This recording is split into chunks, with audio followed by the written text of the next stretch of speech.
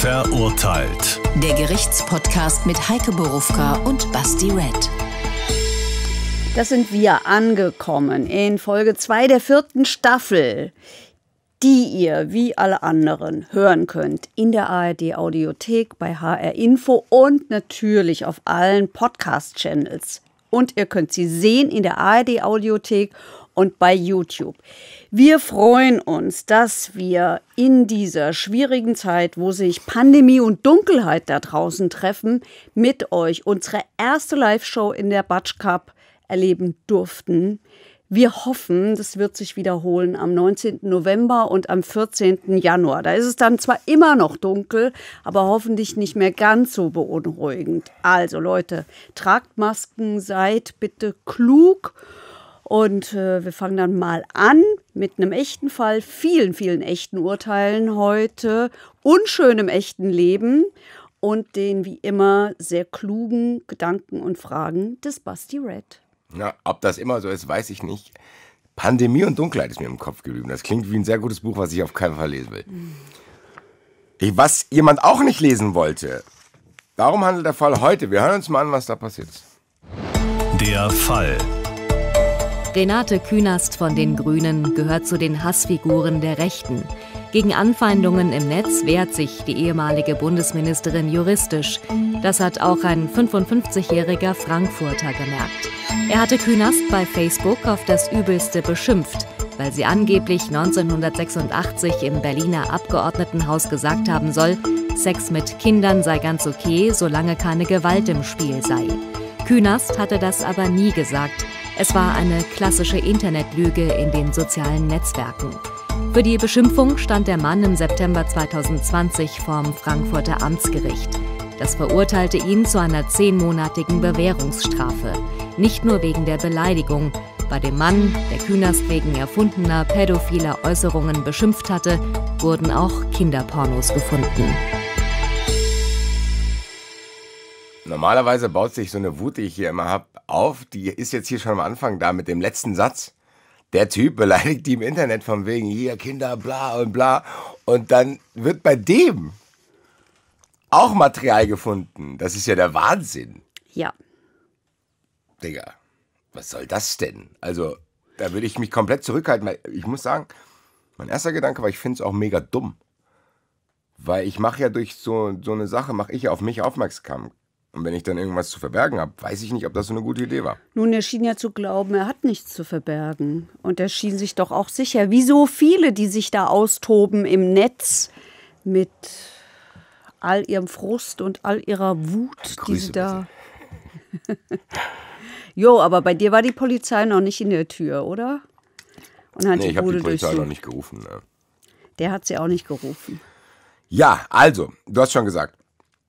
Es geht hier um Hass im Internet. Wir haben ja schon gehört, was da äh, rumging. Ich versuche trotzdem, es ist wahrscheinlich heute ein bisschen anders, ne- trotzdem eine Chronologie reinzubringen. Wie ist das? Was ist als erstes passiert? Als erstes hat es irgendwann mal vor vielen, vielen Jahren eine Debatte gegeben über den Umgang der Grünen mit dem Thema ähm, Pädophilie und Sex mit Kindern. Und Hintergrund ist eine Diskussion, die schon sehr, sehr alt ist, nämlich mehr als 30 Jahre alt ist oder noch viel älter ist. Also die Diskussion der Grünen Zeit Daniel Cohn-Bendit in Frankfurt, der auch ein Buch geschrieben hat, das er hinterher sehr bereut hat, von dem er sich dann auch distanziert hat.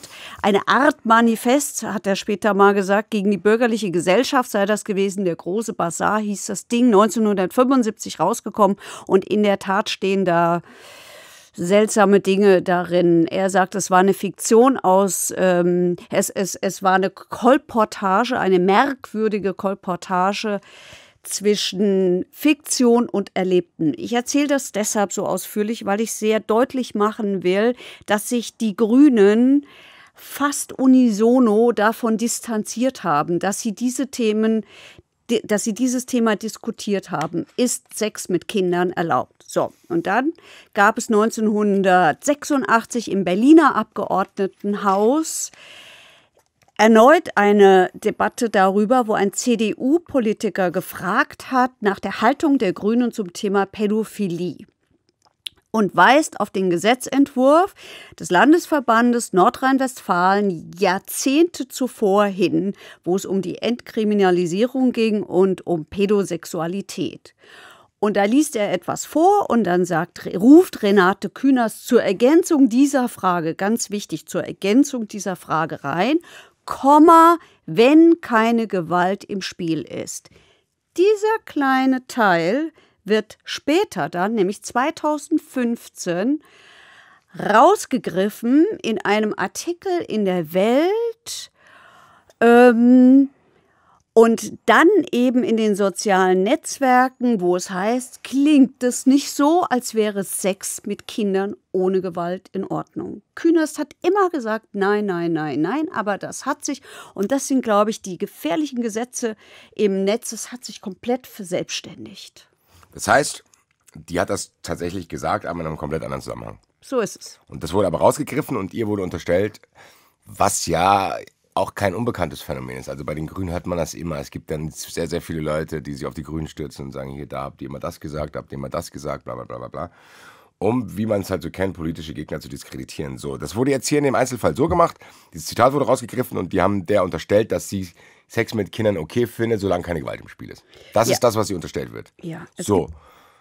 Das fängt ja aber dann trotzdem irgendwann, wo hat das denn dann angefangen? Es gibt einen rechten Blogger, Sven Liebig. Und der hat sich einen eigenen Weg ausgedacht. Der geht so, ich nehme eine Nachricht, äh, ich suche mir einen kleinen Aspekt raus, ich verbreite den, ich garniere den mit entweder, wie in diesem Fall, verfälschten, weil verkürzten Zitaten oder erfundenen Zitaten.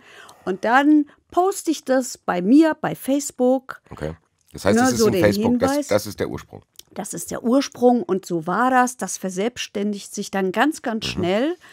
Und auch hier unser Angeklagter hat, hat unter anderem reagiert auf, äh, auf, auf einen Post von diesem, ja, ich würde den als Rechtsextremist bezeichnen, von diesem Rechtsextremisten und hat dann munter eben auch losbeleidigt. Das heißt, bei dem auf der Seite oder wo, also wo findet man das? Ist es dann, weil für mich ist es auch ein bisschen entscheidend zu denken, okay, ist das eine geschlossene Gruppe? Also machen die das Nein, unter sich so? Es ist öffentlich. Das heißt, er hat das öffentlich gepostet, Renate Künast, und der Typ, um den es hier geht, der hat einfach nur unten drunter kommentiert. Der hat einmal bei dem unten drunter kommentiert okay. und er hat kommentiert auf der Facebook-Seite AfD Freunde Kinzigtal. Auch da hat er wild. Surprise. Ich habe mir das angeguckt, also da ist alles drin äh, was man erwartet, was ich, jetzt muss man ja wirklich schrecklicherweise sagen, was erwartbar ist. Also, der Staatsfunk in Anführungsstrichen wird kritisiert. Liebe Von Grüße. Zwangsgebühren ist die Rede und so weiter und so fort. Also es werden alle angegriffen. Er hat übrigens nicht nur äh, Renate Künast da beleidigt, er hat auch, ähm, er hat auch Claudia Roth, auch Okay. eine Grüne, Okay. auch die hat er beleidigt. Gut. Das heißt, wir haben jetzt mal rausgefunden, das und das hat stattgefunden, jemand hat sich rausgegriffen. Das führt dazu, dass unser Freund hier, der hier angeklagt ist, gedacht hat, ich beleidige jetzt mal. Was genau hat er denn, was genau sind denn die Beleidigungen, die da jetzt, oder was hat er denn überhaupt erstmal gemacht und dann dröseln wir mal auf, was davon überhaupt strafbar ist. Also er hat laut Anklage unter diese Posts beleidigt. Der Finger geht hoch. Mhm. Der Finger geht hoch, ich sagen? will jetzt mitschreiben, weil ich, ich, ich finde es trotzdem interessant, ob das alles beleidigt, also ob das alles jetzt zur Verhandlung steht oder nur einzelne Sachen. Also in diesem Fall stand zur Verhandlung Drecksfotze. Okay. Hier notieren. Drecksfotze. So. Es gab aber andere Beleidigungen, die eine große Rolle gespielt haben, weil Renate Künast da sehr, sehr aktiv ist und die Leute verfolgt. Und ähm, es ist ein sehr spektakuläres Urteil, ein erstes, sage ich bewusst erstes Urteil dazu gegeben hatte ähm, in Berlin. Und da ging es um Beleidigungen wie Stückscheiße, Das darf man nicht. Schlampe, Drecksau, Sondermüll auch nicht. Drecksau darf ich auch nicht sagen. Wow.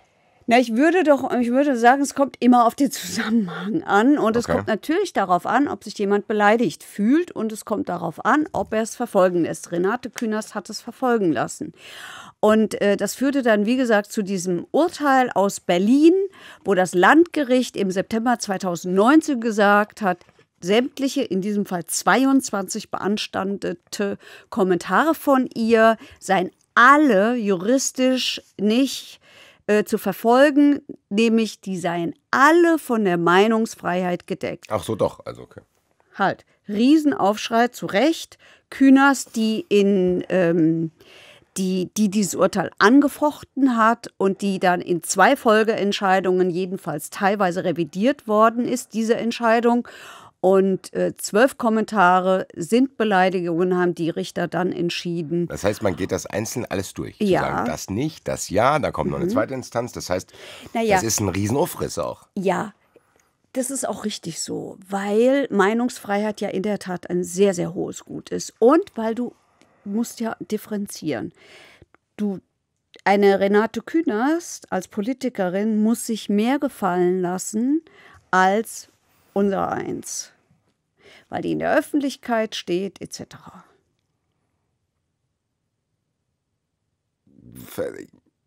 Wer sagt ne? das? Na, das sagt die Rechtsprechung. Und Die sagen, aber, aber wo liegen die da die Grenze fest? Also welch, welcher ist der Schritt, den ich gehe, wo ich sage, okay, ich verlasse gerade den Raum, wo du gesagt hast, wo wir beide drin sind und in welchen Raum geht Na, Renate die Künast? Grenze ist immer da, wo du als Privatmensch persönlich in deiner Ehre verletzt wirst. Das darfst du nicht. Okay, das heißt, Aber, Renate, aber das ist ja sehr schwammig, ne? das meinte ich ja. Wenn ich jetzt zu Renate Künast sage, hier, mir gefallen deine kurzen Haare nicht, dann hat das ja nichts mit ihrer Tätigkeit als Politikerin zu tun. Mhm. Das heißt, das ist eigentlich eine Beleidigung. Wenn ich das ein bisschen drastischer formulieren würde. Wenn ich jetzt aber sage, deine Handlung als Politikerin, Denke ich darüber nach, wie man das drastischer formulieren kann. du bist eine hässliche Kurzhaarfotze. Ja, dann ist aber die Fotze das Problem. keine Ahnung. Ich finde das interessant, weil eigentlich wäre es ja, es ist ja auch gemein eigentlich gegen jemand, der kein Politiker ist, dass man das zudem, oder beziehungsweise gegen die Politiker ist es gemeint, dass man, der, dass der sich mehr anhören muss. Ja, also es hat denn? eine, eine Bundesverfassungsgerichtsentscheidung mal gegeben. Ich meine, da ging es um ein, entweder war es ein Staatsanwalt oder ein Richter. Es war jedenfalls jemand von der Justiz. Und da, da war, da hat das Bundesverfassungsgericht gesagt, ja, die müssen sich mehr gefallen lassen. Mehr im Sinne von, wenn sie da in ihrer Funktion angegriffen werden. Die müssen sich natürlich auch nicht als Drecksau, Schlampe oder Sondermüll beschimpfen lassen und Stück Scheiße auch nicht. Darf ich- Diskussion haben wir auch immer bei den Polizisten übrigens, fällt mir gerade auf. Darf ich hier schon mal unseren Freund Lossi Boss hier anrufen? Ja. Ich habe, glaube ich, eine Frage an ihn, wenn wir das Thema jetzt schon äh, aufgemacht haben.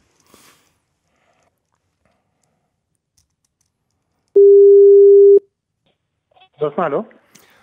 Verurteilt. Heike Berufka, es passiert mir nie mehr der Fehler, dass ich es andersrum mache. Und Basti Red sind hier. Hallo. Ihr Freund. Hallo. Am Hallo, ihr zwei. Wie bitte? Hallo, ihr zwei. Achso, okay, sorry. Ähm, Wir sind früh heute, ne? wir sind früh dran, weil wir haben ziemlich schnell in der Chronologie eine kleine allgemeine Ausfahrt genommen und da sind wir bei einem Punkt gelandet, wo es darum geht, wir reden über den Fall Renate Künast, Okay. die im Internet äh, nach Beleidigungen, ja, ich weiß nicht, ob die da gesucht hat, hat auf jeden Fall welche gefunden, die angeklagt. Jetzt sind wir bei der Frage gelandet, was darf ich eigentlich, was darf man eigentlich? Weil Heike meinte zu mir, dass Politiker zum Beispiel sich mehr anhören müssen als, keine Ahnung, ein Versicherungsmakler. Ja, also grundsätzlich liegt es daran, nicht daran, dass die Politiker sind, sondern Personen des öffentlichen Lebens. Das ist sozusagen der, der, der Knackpunkt an der ganzen Geschichte. Okay, Person ist, das heißt, Politiker an sich hat, damit hat es nichts zu tun. Nee, nicht mit der Position des Politikers, sondern auch Journalisten oder Schauspieler, Fußballer und so weiter und so fort. Also Personen, die grundsätzlich mehr im Licht der Öffentlichkeit stehen, müssen mehr aushalten als, sag ich mal, der Normalbürger. Warum? weil bei denen konkret einfach die, die, die, ähm, also es ist ja wieder schwer zu erklären. Deswegen rufe ich dich an. Ähm, Ja, genau. Ähm, also es ist so, weil ich als Normalbürger äh, durch mein, durch, durch, durch mein Verhalten durch meinen Job, den, den ich habe, ja nicht im Allgemeinen dafür kritisiert werden kann, wie ich mich verhalte. Und bei Personen des öffentlichen Lebens ist die Kritik immer eher auf deren Verhalten oder beziehungsweise auf deren Beruf bezogen, nicht auf die Person. Und das ist ja der Unterschied, ähm, also das ist ja der Grund, wann etwas zu einer Beleidigung wird. Und es wird ja grundsätzlich ein Thomas Müller nicht dafür verantwortlich oder beleidigt, weil er Thomas Müller als Person ist, sondern weil Doch. er als Fußballer des FC Bayern ähm, gewisse Dinge macht. Und dann wird er als Person des Fußballers beleidigt. Okay, das heißt, und deswegen müssen die mir aushalten, weil ich die Tätigkeit von denen kritisieren darf, aber sie nicht, oder was? Genau, ich glaube, das falsche Aushalten ist vielleicht der falsche Begriff oder mehr Aushalten ist der falsche Begriff.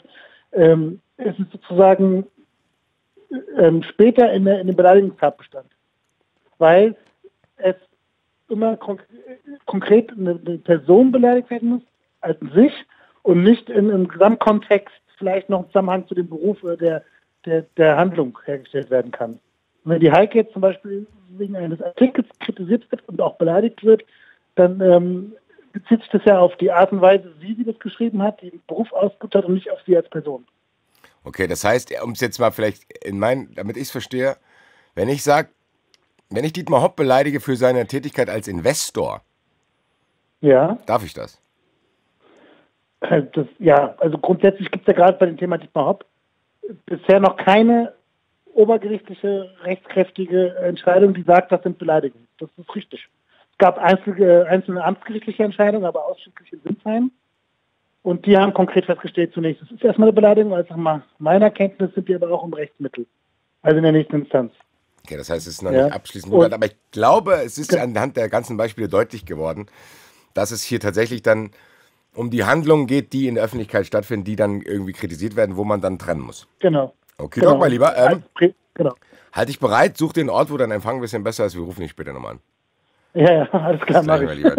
Danke, bis gleich. Ich glaube, das habe ich verstanden.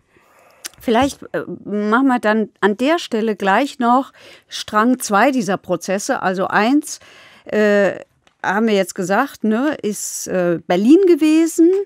Dann haben wir Hat aber aber auch. der Typ noch nichts mit zu tun. Nein, nein, nein, nein, nein, nein, Ja, ja. nein, nein. Das sind auch alles äh, zivilrechtliche Auseinandersetzungen gewesen. Hier unser Typ, der stand ja vorm Strafgericht. Da muss ich leider einhaken. Kannst du uns das auftrennen, weil die Frage habe ich hier stehen, dann streiche ich die jetzt weg. Also hier haben wir in dem Fall, den wir jetzt gleich noch ein bisschen ausführlicher besprechen werden, haben wir einen, wo die Staatsanwaltschaft Frankfurt gesagt hat, du, oder es war die Generalstaatsanwaltschaft, muss ich korrekterweise sagen, ähm, du hast erstens die Künast beleidigt, die hat das angezeigt, ja, das hat sie schon. Ähm, und, äh, und dann die Sache mit der Kinderpornografie, das war ja ein Zufallsfund, als sie da hingegangen sind und haben durchsucht. Was wäre, wenn mit nicht dabei geguckt? gewesen wäre mit den Dings? Na, dann hätten sie es mitbekommen müssen. Sie hätten es merken müssen. Die Staatsanwaltschaft oder in dem Das Fall heißt- die Generalstaatsanwaltschaft hätte gucken müssen und hätte es entdecken müssen. Das macht übrigens dann meistens LKA oder BKA. Da wird natürlich schon gescannt. Das ist dann sowas. quasi entscheidend für, bei welchem Gericht das landet. Das heißt, wenn Renate Künast selber tätig wird, ist Zivilgericht? Nein. Ja, Wenn das- Renate Künast Schmerzensgeld zum Beispiel will, dann sind wir auf, dann sind wir im, im Zivilrecht. Okay, und was ist, wenn, was, Das also, wo- will die auch. Die, die ist auf die. das sind die, zwei die, verschiedene Ebenen, Das sind zwei verschiedene Ebenen. Das eine ist der Straf.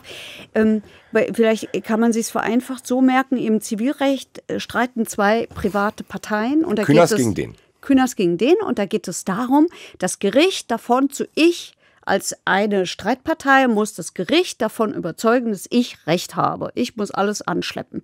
Das Gericht muss davon Amts wegen gar nichts tun. Mhm. so, das ist Zivilgericht. Das, haken sind wir im Zivilrecht. Okay, ja. Und äh, das Strafgericht, da ist es anders. Da muss der Staat dir nachweisen, dass du was getan hast. Du musst deine Unschuld nicht beweisen. Okay. Ja, der Staat muss hergehen und muss das machen. Das ist der große Unterschied. Und es hat aber zivilrechtliche Auseinandersetzungen auch in Frankfurt gegeben. Da war Künast sehr erfolgreich. Da ging es um diesen Blogger. Ähm, da hat das, ähm, da hat das Gericht gesagt, dieser Facebook-Post, ähm, nee, andersrum, der Blogger hat gesagt, dieser Facebook-Post von ihm, ja, also das verkürzte Zitat und so, da fasse er das zusammen, was die ja wirklich gemeint hat. Und das Gericht hat gesagt, nein. Erst das Landgericht, dann hat das Oberlandesgericht das bestätigt und hat gesagt, kann sein, dass die das so gemeint hat, kann aber auch sein, dass sie es eben genau nicht so gemeint hat. Und im Übrigen hat sie sich ja davon distanziert und sagt hier, du Blogger, du rechter Blogger, das haben die nicht gesagt, sag ich. Ähm, du hast die Mehrdeutigkeit dieses Zitats einfach weggeschoben und hast aus dem Zitat ein eindeutiges Zitat gemacht und das darfst du nicht. Okay, aber um jetzt wieder ein bisschen Ordnung hier reinzukriegen. Halt, darf ich noch meinen Zivilkram fertig machen? Es gab noch ein Urteil. Ich will damit auch zeigen, wie erfolgreich die Künast ist. Sehr ja? umtriebig auch. Ja. Das ist ja auch anstrengend. Ja, das ist super anstrengend. Also nicht nur diese Beleidigungen immer auszuhalten, sondern auch so dagegen vorzugehen. Nein, und dann kriegst du auch ständig einen Brief. Und da muss man das. Ich bin schon sauer, wenn das Finanzamt Nachfragen hat. Da bin ich schon Aber. Künast scheint es nicht zu 40 sein, die macht das. Millionen Briefe, okay. Also die hat nämlich auch dafür gesorgt, dass das Landgericht Frankfurt den Büro Büroleiter des AfD-Bundestagsabgeordneten Live Erik Holm zu 3000 Euro Entschädigung an sie verurteilt hat. Ne? Auch wieder dieser Weltartikel. Alles Zivilgericht. Alles Zivilgericht. Ja. okay. Wir sind jetzt aber hier vom Strafgericht.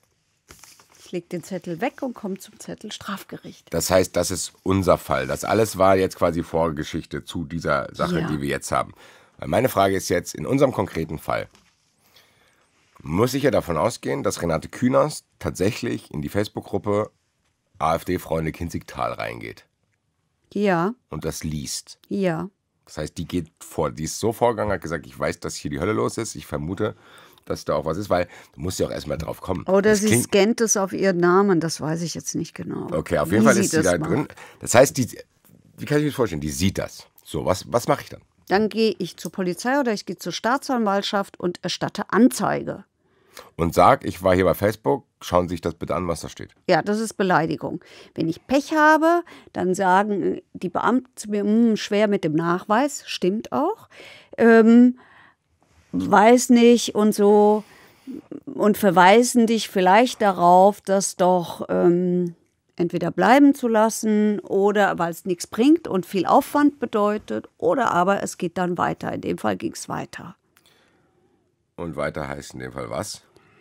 Weiter heißt, dass die Staatsanwaltschaft, in diesem Fall ist es die Generalstaatsanwaltschaft in Frankfurt gewesen, ich betone es deshalb so, weil es hier so eine äh, spezielle Stelle gibt, die nennt sich die Zentralstelle zur Bekämpfung der Internetkriminalität. Also das ist dann schon relativ hoch angesiedelt. Und, ähm, und hier geht es um Hate Speech. Und die müssen ja aber dann auch erstmal wissen, wer das ist. Ja, Da steht ja keine Adresse. In diesem Fall war es recht leicht, weil der hat das unter seinem ganz persönlichen Namen und da hat er das gemacht. Also der hat unter Klarnamen. Ja gut, aber es gibt ja mit Sicherheit noch jemand, der unterwegs? so heißt. Ich weiß ja nicht sofort die Adresse von dem oder nicht. Also muss ich, nein, mein, warum, worauf meine Frage hinaus soll, muss Facebook da mitarbeiten? Ja, das gibt doch jetzt so einen neuen Gesetzentwurf. Und in diesem Gesetzentwurf geht es genau darum. Also es geht genau darum, es heißt Gesetz zur Bekämpfung von Rechtsextremismus und Hasskriminalität im Internet. Und das ist umstritten. Das ist deshalb umstritten, weil zum Beispiel der Anwaltsverein sagt, na ja, also jetzt muss Facebook, also da geht es darum, Facebook soll melden, ja, soll sagen, hier, da ist was mit strafrechtlicher Relevanz. Die sollen das selber machen. Ja, und da sagt der Anwaltsverein, das ist schwierig, Finde weil ich ich damit natürlich. Warum? Weil das ja ein riesen Spielplatz ist, den die zwar bieten, aber das ist ja wie wenn ich zum RMV sagen würde, der ist für alle Straftaten verantwortlich, die in ihnen S-Bahnen passieren. Ja, ich finde das Schwierige auch, ähm, und da gebe ich diesem Anwaltsverein recht, du machst einen Konzern damit zum Ermittler. Also der soll jetzt entscheiden, was hier strafrechtlich relevant ist oder nicht. Die gehen jetzt, sie ziehen jetzt als Privatermittler los und sagen, das ist nicht in Ordnung, das ist nicht in Ordnung, das ist nicht in Ordnung. Und gehen damit zur Staatsanwaltschaft. Also die können ja hergehen und können sagen, sperren wir oder so. Ja. Nee, das, das, das, Das ist ja für mich der Unterschied zu sagen, ja, das wird gelöscht, ist alles gut, das ist deine Plattform, kannst du machen, wie du willst, aber Ja. zur Staatsanwaltschaft Ja. zu gehen, finde ich schon. Also was ich verlangen würde, ist so ein Mittelweg. Ich würde sagen, gut, ihr müsst das nicht anzeigen, aber ihr müsst halt da mithelfen, wenn da was passiert ist. Sagt Ja, mir den ja. Namen bitte. Ja, wird ständig diskutiert, ist auch ein schwieriges, ist auch wirklich ein schwieriges Thema. Und wenn schwierige Themen kommen, dann haben wir einen Joker zum Glück in der Hinterhand. Pam.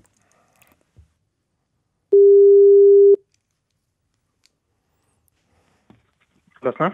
Wir sind schon wieder Basti und Hallo. Heike. Jetzt in der Hallo. umgekehrten Reihenfolge. Pass mal auf, wir sind bei dem Punkt, ähm, äh, müssen Anbieter wie Facebook und Twitter Ja. IP-Adressen etc. bekannt geben, also den Ermittlungsbehörden, wenn der Staatsanwalt kommt und was will. Das ist ein schwieriges Thema, oder? ja.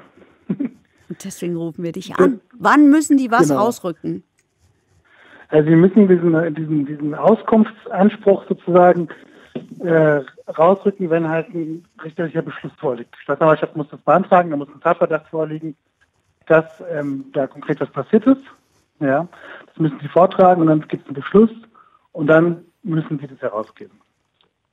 Das heißt aber vorher, ich, wenn ich das jetzt haben will, muss ich erstmal dafür sorgen, dass ich diesen Wisch in der Hand habe und dem sage, hier, ich habe das, zeig her. Welchen Wisch? Diesen Ja, Sitzungsbeschluss? Den Beschluss. Äh, den Beschluss. Das heißt, alles, was du gesagt hast, muss vorher in die Wege geleitet werden. Genau. Bevor genau. Facebook Das überhaupt irgendwas von, machen muss. Von der genau, das muss von der Ermittlungsbehörde, von der Polizei, muss das erstmal gesichert werden und dann der Tatverdacht begründet werden. Warum jetzt konkret von diesem, von diesem Nutzer etwas herausgegeben werden soll. Aber dann ist es doch immer noch schwierig, weil Facebook nicht in Deutschland sitzt zum Beispiel, oder? Ja, das, die sitzen in Irland, ja, und dann werden dort Rechtshilfesuchen gestellt und dann läuft es über ein Rechtshilfeprogramm und die irischen Behörden, die, die ähm, geben das dann raus. Oder auch nicht. Oder auch nicht, genau. Es kann auch dauern und ähm, das ist Das klingt auf jeden Fall nach. Arbeit. Ja. Äh, deine Ja, Arbeit ist ist ja auch noch nicht beendet. Wir werden dich, wie gesagt, am Ende der Sendung nochmal anrufen. Alles klar, Alles okay, klar. super. Bis dann, danke. Also ich muss sagen, bei mir verfestigt sich der Eindruck, dass das sehr, sehr, sehr viel Arbeit ist. Ja. Also da um. Ich weiß nicht, ob ich es machen würde. Wenn jetzt einer schreiben würde, keine Ahnung, irgendwas, ob ich den Hassel auf mich nehmen würde, nur um das Gefühl zu haben, ah, keine Ahnung, ich krieg ein bisschen Cash oder ich äh, krieg das Gefühl, ich habe denen das gezeigt. Äh, Ja. Weil, ganz kurz, das ist nicht das Einzige, was die gemacht hat. Deshalb bin ich auch mal losgegangen und habe Leute besucht. Ja.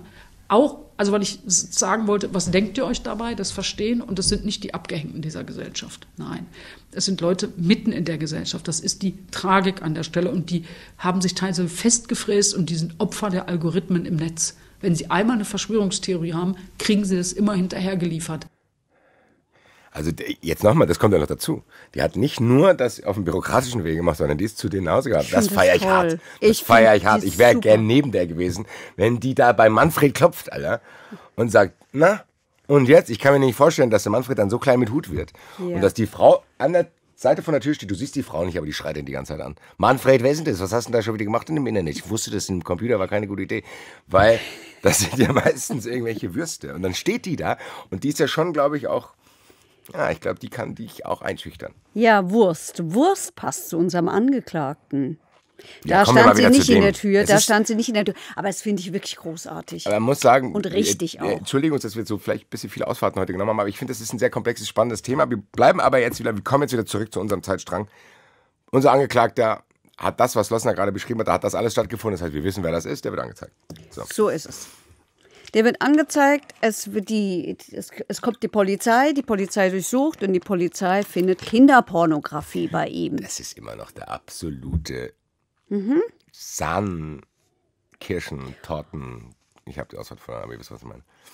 Und die zuständige Staatsanwältin ist wirklich fleißig und äh, wertet zusammen mit der Polizei das alles aus. Macht er in erst zunächst einmal die Polizei und stellt fest, dass der meistens morgens früh zwischen 6 und 9 oder mitten in der Nacht diese Dateien, nämlich 896, überwiegend mit Mädchen unter 14, die wirklich sämtliche Sexualpraktiken, die es auf dieser Welt so gibt, zeigen, auch mit kleinen Kindern, auch mit Babys. Ich sage das deshalb so klar, ähm, weil, weil, weil er eben genau wegen eines solchen Zitats Renate Künast so übelst beschimpft hat. Es gibt immer die Stellen hier, wo ich mich wirklich krass aufrege. Da kann ich mich fast nicht mehr, aufregen, da bin ich sprachlos.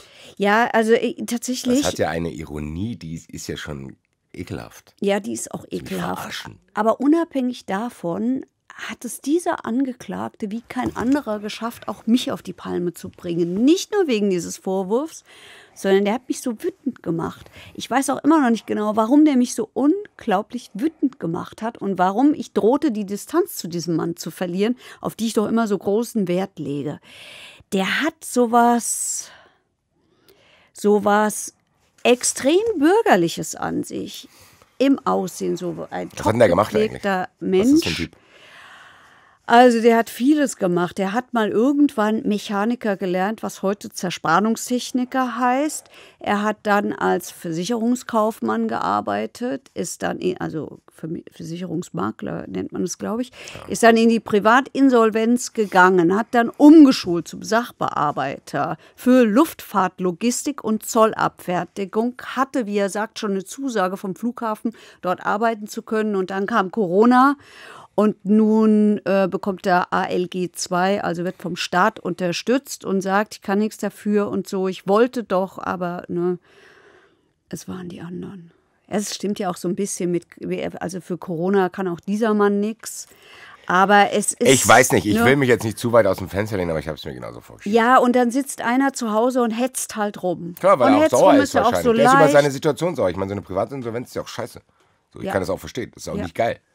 Aber das ist halt dieses Ventil und so genau habe ich es mir vorgestellt. Ja. Wie, wie Renate Künast das in dem O-Ton gehört haben, auch gesagt, das sind nicht die kompletten, äh, wo man denkt, das sind die komplett abgehängten. Das ich glaube, das hat sie eben doch auch gesagt, ne? Mit der Mitte der Ja, Gesellschaft. sage ich ja, das ist ein Johnny, dem halt scheiße irgendwas passiert ist, beruflich gesehen, warum auch immer, Ja, der dann seinen Frust, ich kapiere es ehrlich gesagt nicht. ja, ja.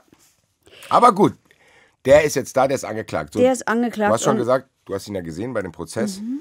Das heißt, er sitzt jetzt da. Und dann erzähl mal von dem Prozess. Du warst ja da. Erzähl mal so ein bisschen was Ach, da naja, abging. das begann schon damit, dass dieser Prozess, du kennst es ja jetzt, du warst ja jetzt schon mehrfach mit am Gericht, Überraschung, Überraschung, er hatte Verspätung. So saßen wir also alle auf dem Gang. Er, War er auch da? er, er muss da sein. Ja, aber er war nicht der Grund für die Verspätung. Nein, nein, nein, nein, weil die Verhandlung vorher einfach länger gedauert hat. Also er saß da mit seiner, wie ich fand, unglaublich hektischen Anwältin, die da wie so ein HB-Männchen hin und her geflitzt ist. Später hat sich mein Eindruck von ihr dann deutlich verändert. Im Prozess fand ich sie ruhig und angenehm sachlich. Vor der Tür habe ich gedacht, oh Gott, oh Gott, oh Gott, was kommt denn da auf uns zu? Die schnauft da hektisch hin und her, äh, organisiert ihre Familie telefonisch, stöhnt laut, verbreitet Hektik und alle kriegen es mit. Also ich, ich verstehe das ja, dass man hektisch und unruhig wird und Familien organisieren kurze, muss. kurze Frage zur Anwältin. War das so eine, wie man sich das vorstellt, szenekundige Anwältin? Oder war das eine ganz normale Also Anwältin? äh, ich, ich habe keinen Anlass da- zu glauben, dass die szenekundig war. Nein, Okay, überhaupt okay. nicht. Also wir, wir bewegen uns, glaube ich, bei, auf jeden Fall bei der Anwältin nicht in irgendeinem rechten Milieu. Okay. Also das war eine ganz normale, auch seriöse Rechtsanwältin. So, also wir sind da draußen, der, der Angeklagte relativ ruhig. Ich habe so getan, als bin ich nicht da. Und diese hektische Anwältin. Dann geht's endlich los. So, und dann äh, das Übliche, halt, dann sagt er, wie er heißt und was er gemacht hat. Das haben wir jetzt schon erzählt. Übrigens, dass er geschieden ist, ähm, eine 30-jährige Tochter und eine Enkelin von fünf Jahren hat. Da erschrickst du natürlich bei diesem Vorwurf. Er hat aber gesagt, er habe einen ganz normalen Operumgang, wörtliches Zitat, aber ein ganz tolles Verhältnis. Die Tochter wisse auch Bescheid, die Lebensgefährtin, die er seit zweieinhalb Jahren hat, weiß wohl, wusste wohl nicht, dass er da an diesem Tag auf der Anklagebank in Frankfurt saß. Also dann das übliche Anklage verlesen und dann ist der Angeklagte dran und der sagt halt, ich habe es ja schon häufiger gesagt, ich weiß, Reue, Einsicht ist schwierig. Wie, wie zeigt man, dass man wirklich bereut? Wie zeigt man, dass man wirklich einsieht? Und äh, erwarten wir da nicht zu viel auch von den Menschen? Ich weiß, ich sage es immer, aber in der Tat habe ich hier gedacht, oh Gott, jetzt auch noch so ein weinerlicher Typ, der dann sagt, ich kann mir das alles selber nicht erklären und warum ich das gemacht habe und warum ich mich dazu herabgelassen hatte und wenn es eine Möglichkeit hätte und dann würde ich mich entschuldigen bei den Frauen und bei den Familien von den Kindern und ich habe, das interessiert mich eigentlich gar nicht und das ist nur auf meinem Computer immer so aufgeploppt. Ne? Aber wir wissen alle, der Algorithmus funktioniert so, das haben wir auch bei Frau Kühnerst ja eben gehört, es ploppt das auf, was Aber du vorher mal aufgerufen hast. Was hat er behauptet? Dass das einfach aufploppt? Kinderpornos? Ja. Wie, bei was? Naja, das kann schon sein, aber da musst du vorher mal geguckt haben. Nein, das kann nicht sein. Ja, Doch, wenn du vorher guckst. Also ich war auf sehr vielen dubiosen Seiten, da ploppen keine Kinderpornos auf. Da musst du safe schon irgendwas suchen. Okay. Aufgeploppt, was ist das denn? Das ist wieder, siehst du, das ist jetzt der Punkt, wo ich mich wieder aufrege. Das ist, die machen sich nicht mal Mühe, sich interessante Ausreden einfallen zu Nein, lassen. ja. Das gibt's doch nicht. Ja. Weil es war natürlich, da, der kam nicht um den Umstand umhin, dass er so unglaublich häufig und dass sich das so steigerte. Das hast du gehört, weil diese fleißige Staatsanwältin hat alles vorgelesen. Wann war er wo, auf welcher Seite? Alles. Und der Typ hockt sich hin und. Also. Gut, ist jetzt mal so, er hockt jetzt da und dann. Ja, er hockt jetzt da, dann hat er gesagt, äh, dass er Frau Kühners 3500 Euro bezahlt habe als Schmerzensgeld, Schadenersatz. Und dass er Aus auch. Verfahren dann, oder? Aus dem Zivilgerichtshof? Nein, nein, das hat er. Das hat er selber gemacht. So. Ja, das hat die einfach auch, überwiesen. Ah, das ist auch schlau. Naja, er hat Kontakt zu ihr aufgenommen. Ja, er deine braucht ja mal mindestens, so ist Ich es. mach das hier, komm. Wie viel willst du denn haben? Also 3500 ist schwierig, hat er auch gesagt, ist ganz schwierig, weil er ist ja und so, ne? Kriegt ja Stütze vom Staat und da hat man nicht 3500, aber und mit Frau Roth werde er auch Kontakt aufnehmen und eine Unterlassungserklärung unterschreiben und so weiter. Und die Höhe, die würde jetzt noch verhandelt. Aber er habe sich jetzt schriftlich mit beiden bei beiden entschuldigt. Ehrlich gesagt, ich kann den Impuls nachvollziehen, den du hast. Den habe ich auch. Aber was wollen wir denn von ihm noch? Also die Staatsanwältin Ja, meine, hatte hat ihn sich jetzt schon- offensichtlich auch. Ich meine, wir müssen uns eins klar machen, der hat das jetzt gemacht. So, er kann sich Mhm. machen. Was, also, Naja, was, wollen wir, also was verlangen wir denn von ihm? ja, ich finde es völlig, du hast recht, ja. Ja, du hast recht. Was erwarten wir von dem? Und das ist das, was ich ja immer sage. Nur weil ich einen Sau doof finde, wird er nicht höher bestraft, äh, Ja, muss er halt- mehr liefern. Man kann ihm auch nicht vorwerfen, wie er sich zu entschuldigen hat. Die Sache ist halt, er macht es wenigstens. Auch, klar, ich meine, wir, im Endeffekt können wir es, wir müssen, glaube ich, aus Mangel an Beweisen akzeptieren, dass er es ernst meint. Aber wie sollen wir ihm das Gegenteil überweisen? Er überweist Geld, er entschuldigt sich, schreibt den. Ähm, ich weiß, Ja, ja. mir fällt es auch schwer. Ich wollte jetzt einfach nur mal so ein bisschen Rationalität da reinbringen, zu sagen, Ja, das ist richtig, aber auch die Staatsanwältin hat dann gesagt, also wenn ich mal gucke, was sie da gemacht haben, sie beleidigen ja ständig. Ne? Also, also er hat auch Ursula von der Leyen, die Präsidentin der Europäischen Kommission, beleidigt. Er hat die Bundesverteidigungsministerin Kramp-Karrenbauer beleidigt. Er hat Sinead O'Connor, die zum Islam konvertiert ist, beleidigt. Dafür, vielleicht für den Song, aber doch Nein, nicht. ich mag den. Ich mag den auch, gibst du. Ich mag den, manchmal darf es auch mal, manchmal darf es auch ein bisschen romantisch sein. Nicht immer nur. Ich weiß nicht, ob das romantisch ist. Das ist schon ein bisschen Schon. dramatisch auch, finde ich. Ja, aber naja, gut. Romantik kann Nicht ja auch mehr dramatisch abschweifen sein. heute, Nicht mehr abschweifen heute. Also Spahn hat er beleidigt und auch da fielen Wörter. Fotze, Stück Scheiße, Arschloch, da könnte ich kotzen. Ich das weiß schon, was du meinst. jetzt das nicht, nicht so für dafür. Und dann kommt, dann sagt die Staatsanwältin das, dann sagt er, oh, kann ich mich gar nicht mehr erinnern. Ja, okay, gut. Es ist schwierig. Dann kommt diese GEZ-Hetze, die Kuscheljustiz, das war ein bisschen doof. Er hat von auch den alle Schubladen, die ich in meinen Schränken habe. Hier, da, da, da. Was ist denn los? Fuckrichter, das nächste Stück Scheiße an der Macht. Also da spricht schon viel Wut aus so einem Menschen. Dass die Leute nicht irgendwann, ich verstehe es wirklich nicht. Ich meine, das kann dir ja mal passieren, über einen kleinen Zeitraum, für mich noch einen längeren, dass die nicht irgendwann merken, ah, ich glaube, ich bin gar nicht auf die sauer. Ich bin des und deswegen sauer. Ja. Das weiß ich nicht, das verstehe ich nicht. Aber also gut. vielleicht können wir einfach hoffen, dass dieser Prozess dazu beiträgt. Er selber sah, hat gesagt, ja, über mir ist alles zusammengebrochen, als diese Insolvenz kam und Aha. so. So, Digga. Gibt's doch nicht, Alter. Weißt Und- ja, der weiß das ja auch. Und noch. das mit der Kinderpornografie ist eine ekelhafte Phase gewesen und er bereue das zutiefst. Und wie gesagt, er entschuldigt sich bei allen und so ist weiter. ja auch egal.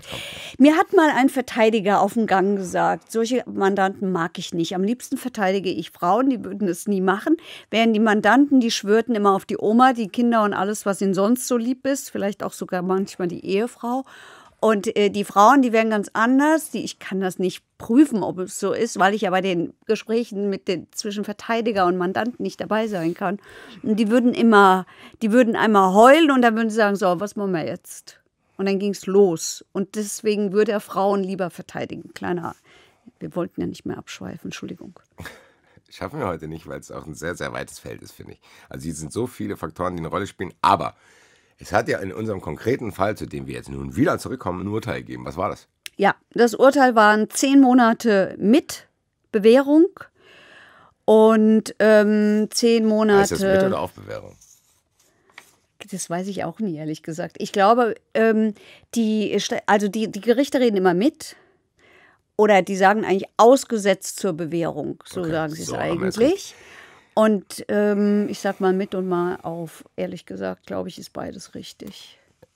Ähm, Und er muss zum Zentrum für Männerfragen und muss da mindestens zwei Therapiestunden machen. was muss der? Zwei Nein, nein, Therapiestunden. wo muss der hin? Was ist das? Das Zentrum? Zentrum für Männerfragen, das begegnet einem häufig in Prozessen, gerade beim Amtsgericht. Da werden gerne Das hört sich für Männer mich so an, als wäre da ein. Zentrum, was mir beantwortet, was wir am Wochenende machen. Nein, das das ist ein Zentrum, das dir beantwortet, warum du möglichst dem Nächsten keine reinhaust, sondern eher mal redest, wie die Eskalieren funktioniert oder wie du mit sowas umgehst. Ach, wir Männer haben schon keine gute Leistung erbracht, dass es solche Zentren gibt. Ähm, boah, ich weiß nicht. Ich bin hin und her gerissen zwischen dem Impuls. Ich kann mir ganz viele Leute vorstellen, die sagen, boah, ist das niedrig. Hör jetzt aber auch schon deine Ausführung zu sagen, man darf das nicht unterschätzen. Ja, tatsächlich finde ich es auch ein bisschen, ein, ein, ein bisschen niedrig. Ähm, Weil wir reden hier trotzdem, das ist wie immer zusammengefasst, gell? Ist das so dieses Ding, was wir immer hatten? ja, das ist eine Gesamtfreiheitsstrafe. Genau. Mhm.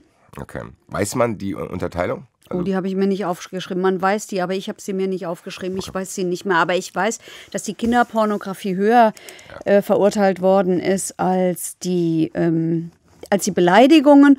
Und da mein ewiger Appell an alle, die irgendwie über sowas nachdenken, hinter jedem Foto mit Kinderpornos, auch wenn, wenn, wenn sie schon Millionen vor einem angeschaut haben, steckt immer der reale Missbrauch eines Kindes. Deshalb wird es bestraft. Klammer auf, zurecht, Klammer zu. Ja, naja, das kommt häufig. Oh, ich habe es mir ja nur angeschaut, ich habe ja nichts gemacht. Das Bild war ja eh schon da. Ja, richtig, aber. Vielleicht ist es da, weil Leute sich das angucken. Ähm, ich, mir fällt es schwer, das einzuordnen, muss ich sagen. Ich glaube, in der Kurze der Zeit jetzt finde ich es auch zu niedrig. Es ist relativ niedrig, aber ähm, es entspricht ungefähr dem, was die Staatsanwältin beantragt hat. Die hat auch zehn Monate mit Bewährung. Die hat einen Bewährungshelfer noch mit beantragt. Und die hat gesagt, nicht zwei Stunden, sondern Verhaltenstherapie machen. Jetzt können wir einfach mal hoffen, dass aus diesen Therapiesitzungen vielleicht eine Therapie wird. Mich hat geärgert auch dieses, man braucht kein Gericht übrigens, um eine Therapie zu machen. Man kann auch selber auf die Idee kommen. Vielleicht ist es das. Vielleicht ist es das, warum es mir so schwer fällt, das anzunehmen. Von dem. Natürlich wegen des Vorwurfs, der ist auch für mich immer schwierig. Aber ähm, warum brauche ich ein Gericht, das sagt, oh, hier gibt es Therapiebedarf? wir dürfen ja nicht vergessen, also Menschen, ich, der behauptet ja, er wäre nicht pädophil. Und ähm, viele aber, die sich sowas angucken, die sind es. Das ist eine Disposition, die ich habe. Das ist ja was anderes, als wenn ich äh, irgendwo einbreche und was klaue. Also der Umgang mit sowas ist schwierig. Wenn wir mal die ganze Emotion rausnehmen, Eigentlich kann finde ich das immer Leute, sehr. ehrlich Natürlich. gesagt. Wenn ich mir Natürlich. überlege, dass die sexuellen Fantasien, die ich habe, dass ich das nicht machen dürfte, wäre ich auch traurig. Das ist sehr schwierig. Habe ich sehr viel Glück, Das ist das ja sehr mache. schwierig. Und es kommt noch hinzu, dass es unglaublich wenige Therapieangebote für diese Menschen gibt. Das hat viele Gründe. Einmal, weil es ein Tabuthema ist. Keiner will so richtig was mit zu tun haben, auch, auch ich, ja, die eben. ich glaube Therapeuten nicht, du, weil, ja, Und es wird häufig äh, relevant ähm, vor Gericht. Wenn du einen solchen Menschen als Patienten hast, gibt es jedenfalls die theoretische Wahrscheinlichkeit, dass du irgendwann auch mal vor Gericht erscheinen musst und dazu was aussagen musst, wenn der, wenn der dich äh, ja, und du kriegst wenn es ja du dir die, die Schweigepflicht entzieht. Das ist ein wichtiges Thema. Deswegen gibt es so wenige, weil die, die Leute wollen, das wollen Therapeuten natürlich nicht machen. Die haben keinen Bock drauf, vor Gericht ja, vielleicht haben auszusagen. die auch keinen Bock, sowas jeden Tag zu hören. Ja, aber Ich finde es ganz schwierig. Eigentlich habe ich ja gedacht, geil, wir machen diese Sendung, weil ich die Justiz so sehr bewundere, dass sie nüchtern ist und ich versuche auch so einen Blick darauf zu haben. Eigentlich gelingt mir das immer. Ich finde, beim Thema Kinder ist es ganz, ganz schwierig. Aber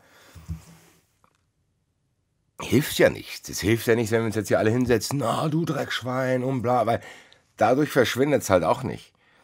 Und dadurch kann man es auch nicht irgendwie in Bahn lenken. Da kann jetzt jeder schreien und klar, jeder feiert sich auch ein bisschen selber dafür, dass er so sich sehr für Kinder einsetzt. Ja, ist mir egal.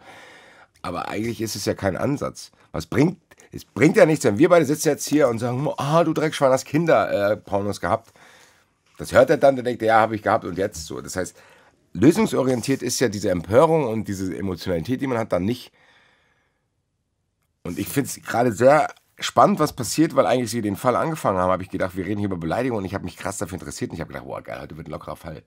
Weil das so ein Ding ist so, ich habe das Gefühl, bei diesem Internet, Internetbeleidigung bin ich mal auf beiden Seiten so. Ich bin einmal mal derjenige, der beleidigt, manchmal bin ich der, der beleidigt wird und mal interessant zu wissen, was darf ich und was muss ich aushalten. Jetzt sind wir aber hier bei einem Thema, eigentlich hat das ja eine komplett andere Wendung genommen, auch in diesem Prozess, dass die Beleidigungen fast egal sind. Na, fast egal nicht, aber ähm, ja. Also stehen zumindest ein bisschen im Schatten Ja. von dieser Thematik.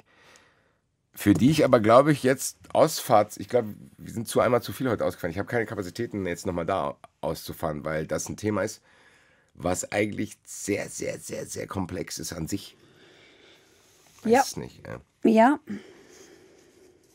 Boah. das ist auch schwierig. Mhm.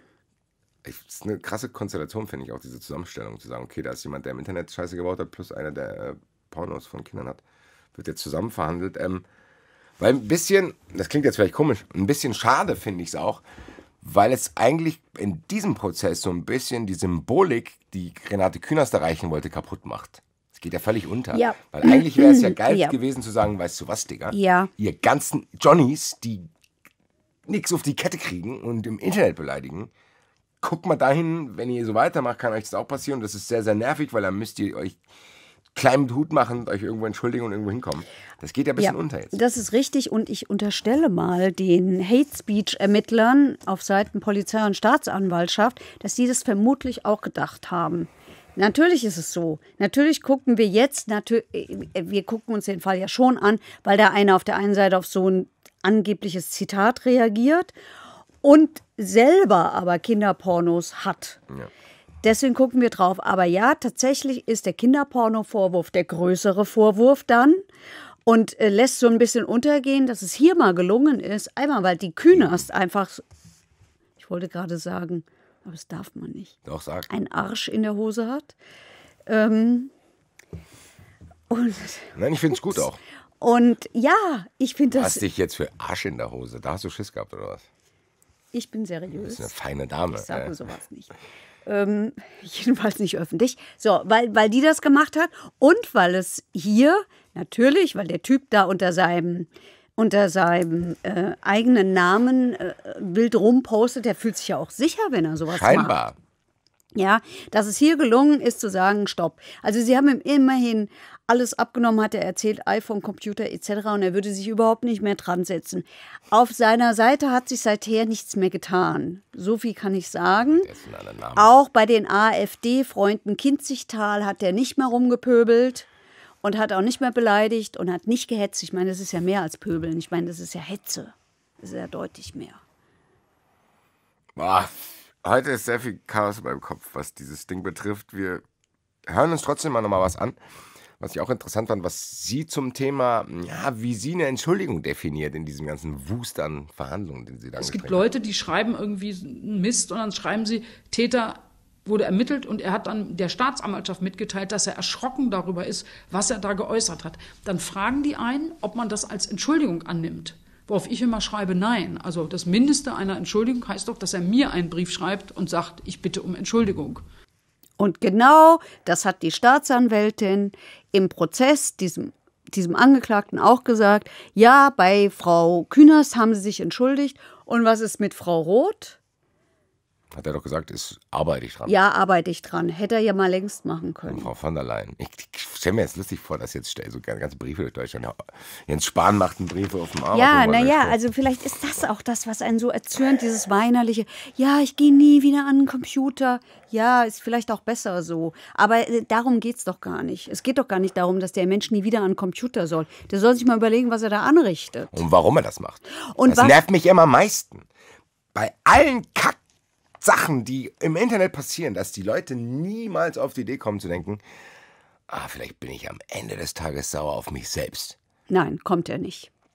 Das kommt er nicht. Deswegen sagt er ja auch, ja, ich biete eine Therapie an und ich hatte gehofft, dass Ach, die das an. Staatsanwaltschaft. So hat er es das gesagt. biete ich, du bist ja ein generöser Typ hier. Das, das, ich, wahrscheinlich erzähle ich das jetzt so, damit du auch dich so ärgerst. Mach Und ich jetzt das auch gibt- langsam, das gibt's doch nicht. Und das gibt mir sozusagen Prokura dafür, dass ich es auch getan habe oder so. Es rechtfertigt meine Wut, die ich mir nur sonst nicht erlaube. Ne? Und also der hatte so gehofft, dass die Staatsanwaltschaft ihm die Adresse nennt. Biete Ihnen eine Therapie an, da komme ich nicht drüber hinweg. Das klingt jetzt schon so, hier also, ah, biete Ihnen das an. Dann überlegen Sie sich das. Also, Digga, egal. Ich bin froh mittlerweile. Eigentlich hatte ich Bock, jetzt habe ich keinen Bock mehr. Dass meine Fragen alle durchgestrichen sind und ich die berühmte Frage auch in Staffel 4, Folge 2 an dich stelle, Heike. Ist irgendwas durch meine heute bisschen chaotische Fragerei nicht rausgekommen? Sagen wir so, also, aber ich fürchte, du ärgerst dich jetzt wieder, weil nachdem er dir angeboten hat, äh, dass er eine Therapie macht, hat er gesagt, ich zitiere, ich bin leidenschaftlicher Sportangler. Ich poste eigentlich Fotos von den Fischen. Über die Fischbilder habe ich dann gesehen, es gibt ja auch noch was anderes. Und so ist er vom Hecht zur Kinderpornografie gekommen.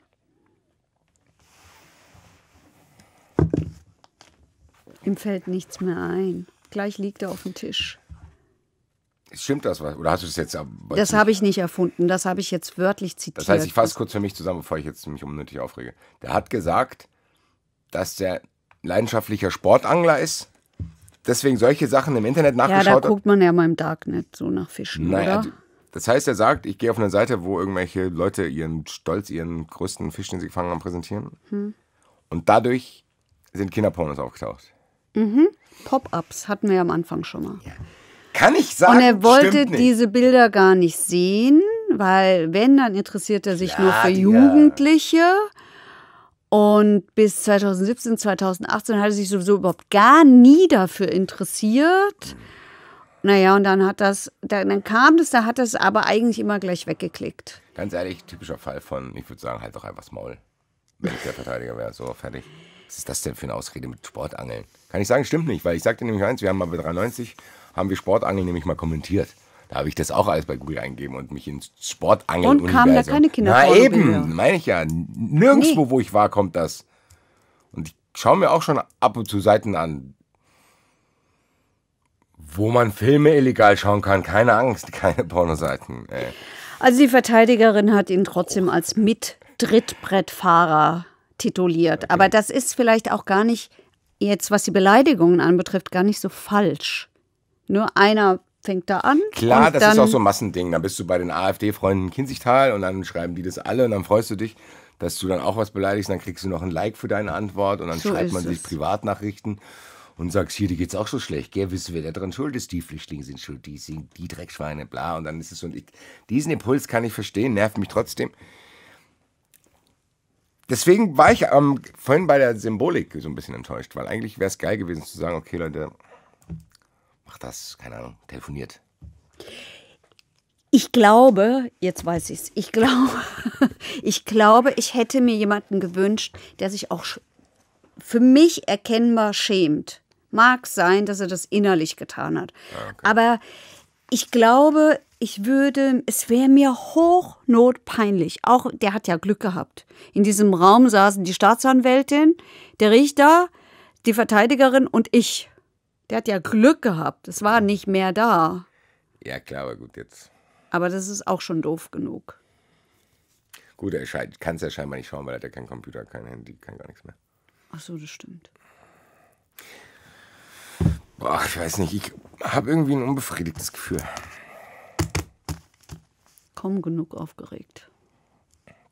Ja, finde ich auch. Ähm, was mir Freude bereitet ist, wenn wir und ihr äh, zusammenarbeiten und im Zuschauerraum, wo wir jetzt hingehen werden, uns freuen, dass sie uns sehr, sehr, sehr, sehr viele Sachen schreibt. Und auch die Freude darüber, dass wir mal da sind, war sehr, sehr groß. Deswegen gehen wir zu Ehren von euch in den Zuschauerraum. Und da haben wir sehr, sehr ausführlich Fragen bekommen zu dem Fall mit, äh, was, Blowjob oder Wischmob hieß es, glaube ich, bei uns, oder? Wischmob statt Blowjob, genau. Und die fand ich sehr, sehr interessant. Wir können leider nicht, ähm, lieber Nico, du hast sehr, sehr ausführlich geschrieben und sehr, sehr von diesen Fragen hatte ich auch, die sich wirklich alle äh, mit diesem Prozess beschäftigen, wo derjenige da aus dem Bordell rausgeflogen ist, dann noch eine Flasche auf die Polizistin geschmissen hat, bla bla. Kann man sich auf jeden Fall nochmal anhören, wem es nichts sagt. Ich habe mir schon von Staffel deinen, 3. ich habe mir jetzt mal von deinen äh, sieben Fragen zwei rausgesucht, die wir zusammen dem Herrn Lossner stellen. Der ist auch schon vorbereitet. Den haben wir vorhin schon gebrieft, dass er jetzt zum dritten Mal heute angerufen wird. Also rufen wir nochmal Lossi Bossi an und dann lese ich die Frage vor, sonst ist es doppelt. Lass mal, hallo. Guten Tag, Heike Berufka und Basti Red zum dritten Mal heute. Aber zum Hallo, letzten. Mal für heute. Genau. Du hast jetzt Okay. quasi dein. Jetzt ist für dich auch die sechste Stunde. So. So sieht's aus. Gleich klingelt's. Wir hatten hier mal einen Fall, äh, ich hole dich kurz rein. Da ist so äh, ein Angeklagter, oder Beklagter, Angeklagter, an, Angeklagter. Äh, Angeklagter ist aus, äh, aus dem Bordell in Frankfurt rausgeflogen. Erinnerst du dich? Wischmob statt Blowjob? Ja, Da hat er irgendwie noch eine Flasche geworfen. Ich habe jetzt dazu viele Fragen bekommen. Ich will dir mal zwei dazu stellen. Und zwar ging es dann Okay. darum, dass die äh, Richterin irgendwie eine Vergangenheit mit frauenpolitischen Aktivitäten hatte. okay. Natürlich ist das jetzt ein Fall, wo man dann denken könnte, besteht eine Befangenheit der Richterin aufgrund früherer frauenpolitischer Aktivitäten und gewisser skeptischer Äußerungen über das Prozessverhalten des Täters. Also reicht das für eine Ähm. Befangenheit zu sagen, hier ist ein Mann, der ins Bordell geht und da ist eine Richterin, die Frauenrechtlerin ist? Reicht das? Also es- reicht nicht, wenn sie sich jetzt außerhalb ihres Berufs frauenrechtlich ähm, engagiert. Ja, das reicht nicht. So. Es muss dann schon konkrete Anhaltspunkte dafür geben, dass sie in dem Prozess konkret ein Werturteil gegenüber dem Angeklagten geäußert hat. Also der, die, die, die ähm, Befangenheit ist in dem Moment begründet, wenn der Angeklagte konkrete Anhaltspunkte hat, dass der Richter ihm gegenüber nicht mehr objektiv ist. Und das wird bejaht, wenn halt ähm, zu, zu dem Umstand, dass die frauenrechtlich aktiv ist, noch Äußerungen kommen, die konkret ihn mit einem Werturteil belegen. Okay, das heißt, das muss immer innerhalb dieses Prozesses passieren und es kann nicht allgemein abgeleitet werden. Nee, genau, allgemein nicht. Es gibt ja zum Beispiel auch die Fälle, dass ähm, ein Ermittlungsrichter, der schon über die Untersuchungshaft entschieden hat, dann im Prozess der Richter ist und dann kann man ja auch sagen, die Vorbefassung ist äh, befangen, weil er ihn ja schon ins Gefängnis gesteckt hat im Rahmen der Untersuchungshaft. Ähm, selbst das reicht nicht aus. Also ein Vorbefassen mit dem Fall ist zum Beispiel auch kein äh, Besorgnis der Befangenheit. Okay, das heißt, das muss. Es müssen noch Ja. konkrete Einzelumstände hinzutreten, Werturteile, Äußerungen, die dann weitere Rückschlüsse zulassen. Aber in dem Fall hat die Richterin ja zum Beispiel gesagt, also Sie haben offensichtlich ein Problem mit Frauen. Das reicht nicht. Äh, also mir hätte es gereicht als Verteidiger, um Befangenheitsantrag zu stellen. Ich weiß jetzt nicht, ob der Kollege da was gemacht hat oder Nee, die Akte kenne ich ja gar nix. nicht dazu. Aber wenn Das war der- sowas kommt, ähm, dann hätte ich sofort einen Befangenheitsantrag gestellt. Das war, de, gereicht. das war der Kollege, vielleicht erinnerst du dich, da haben wir nämlich auch schon mal in einer Folge drüber geredet mit dir, der, äh, der gesagt hat, der Mandant will eigentlich einen Freispruch, aber ich äh, Ja, ja, ja. plädiere ich nicht erinnere auf Freispruch. Geschichte mit Wahlverteidigern, Pflichtverteidigern. Genau. genau. Ja, schwierig. Also ich möchte mich jetzt nicht äußern, weil ich den Fall nicht kenne, die Akte nicht kenne, aber ähm, grundsätzlich hätte es mir nach euren Angaben jetzt gereicht, um Befangenheitsantrag gegen die Richterin zu stellen. Also die Äußerung, die sie da getätigt hat, die du gerade zitiert hast, wenn das so gefallen ist, hätte ich den Befangenheitsantrag gestellt, aber ehrlicherweise glaube ich auch nicht, dass das ausgereicht hätte. Aber gestellt hätte ich ihn auf jeden Fall. Das spiegelt so ein Aber- bisschen meine Gedanken gerade wieder. Ich glaube, ich hätte es auch gemacht, aber ich hätte auch verstanden, wenn es nicht gereicht hätte. Aber die Überleitung Genau. zu konkreten Äußerungen, die haben wir ja. Ich komme jetzt mal zu Frage 7 von Nico. Weil die Staatsanwaltschaft, glaube ich, ähm, hat diesem Angeklagten auch äh, Theatralik und Weinerlichkeit immer wieder vorgeworfen. Und Okay. jetzt fragt er, betrachtet man eigentlich die kulturelle Herkunft der Angeklagten? Weil natürlich, und das wissen wir, dass es in verschiedenen Kulturkreisen verschiedenste Umgänge gibt. Das heißt, was auf uns vielleicht weinerlich wirkt, ist vielleicht in anderen Kulturkreisen normal. Das kennen wir ja so ein bisschen. Er schreibt jetzt hier zum Beispiel, in arabischen Kulturkreisen ist eine gewisse, aus europäischer Sicht, Theatralik bei Beerdigungen zum Beispiel. Weißt du, was ich meine? Also, ich, das, ich Ja, weiß ja. genau, was er meint. Be wird das vom Gericht, beachten die das eigentlich? Weil Also das wirkt ja nicht so. Ja, genau, das ist ja eine Frage der Strafzumessung. Ja. Und, und, und die, die, Strafzumessung, die Umstände des Täters, also sprich die Beweggründe, Ziele, äh, Gesinnung und so weiter und so fort, aber auch das Vorleben des Täters, seine persönlichen ähm, Erlebnisse, ne? also persönliche Verhältnisse. Das spielt da natürlich mit rein. Und dann spielt natürlich auch die Erziehung, der kulturelle Hintergrund spielt da schon mit. In der Strafzumessung. In der Strafzumessung. Aber das heißt, die Staatsanwaltschaft darf trotzdem sagen, aus meiner Sicht ist das weinerlich, weil das ist ja aber auch Die Staatsanwaltschaft kann ja sagen, die Staatsanwaltschaft kann ja sagen, was sie will. Die kannst ja nicht, kannst du zwar auch wegen Befangenheit theoretisch ablehnen, aber äh, die entscheiden ja nicht über das Urteil, die Staatsanwaltschaft. Okay. Aber das heißt, Die es sind ja auch, schon beachtet. also eigentlich sind die jetzt objektiv, als objektivste Behörde der Welt, aber grundsätzlich sind sie ja in dem Prozess auch Partei, also genau wie der Verteidiger. Ja. Okay. Das heißt, was die Staatsanwaltschaft sagt, die können ja sagen, was sie wollen. Ein, ein, ein Richter sollte sowas jetzt nicht sagen, sage ich mal. Das würde für mich jetzt auch wieder ausreichen, um einen Befangenheitsantrag zu stellen. Wenn das Okidok. Zitat vom Richter gekommen wäre mit der Weinerlichkeit. Ja. Bin zufrieden mit der Aber Antwort. bei der Strafzumessung kann er das natürlich sagen.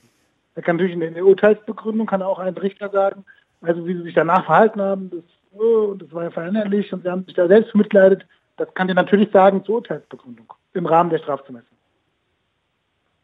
Okidok, mein Lieber, du bist entlassen.